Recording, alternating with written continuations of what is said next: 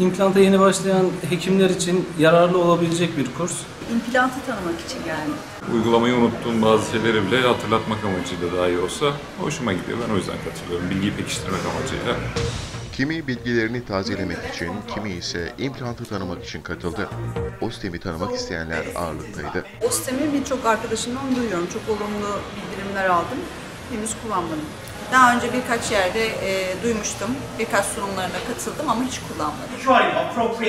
İmplant dünyasının global lideri OSTEM'in Antalya Akro Otel'de ücretsiz olarak düzenlediği Guide Sistemleri kursuna diş hekimlerinin ilgisi yoğundu.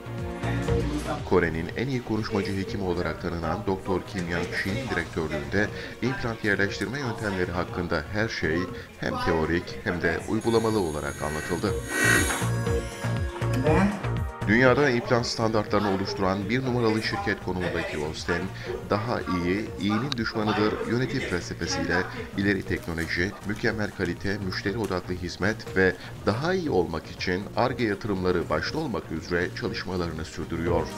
Kore menşeli implant şirketi Ostem bugün Kore iç piyasasında ilk sırada yer alırken dünya sıralamasında ise 5. sırada. Her yıl çift haneli büyüme rakamlarıyla dikkat çeken Ostem'in 2023 hedefi ise diş dünyasında bir numara olmak. Ostem implantın kuşkusuz en önemli referansı ürünlerini kullanan diş hekimleri.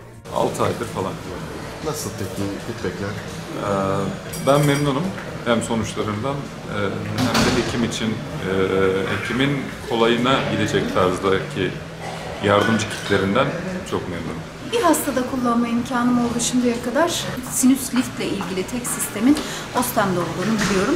Ostem implantı 4 seneden beri kullanıyorum. Ostem haricinde şu an hiçbir implant kullanmıyorum. Ne yerli ne yabancı. Hastaların feedbackleri gayet iyi. Kemik kaybı, entegrasyonu yeterli derecede bence. Hastaların takip altında takip eden panoramik röntgenlerinde kemik kaybının az olduğunu görüyoruz.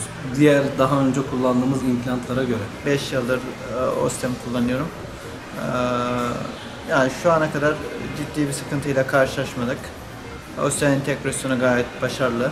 Çok güzel bir sistem. Kullanmayı düşünenler için sistemi iyi algıladıktan sonra işleri çok kolaylaştıracağını düşünüyorum. E, implant başarısını uzun vadede artıracağını da eminim. Farklı e, yaklaşımları var ve güzel, keyifli. Beğendim. Kullanmayı düşünürsünüz. Düşünürüm. Duyuyordum ama hiç kullanmamıştım. Çok beğendim sistemini. Benim ilk implantım olmasına rağmen gayet basit. Ee, Diğer izlediğim videolara nazaran Ostem, Smart Kit, Guide Kit'i ikisi de gayet basit. Kullanmayı e, düşündüğüm implantlardan birisi yani. implant placement. As you can see, bone, the amount of bone ejection was different. Why?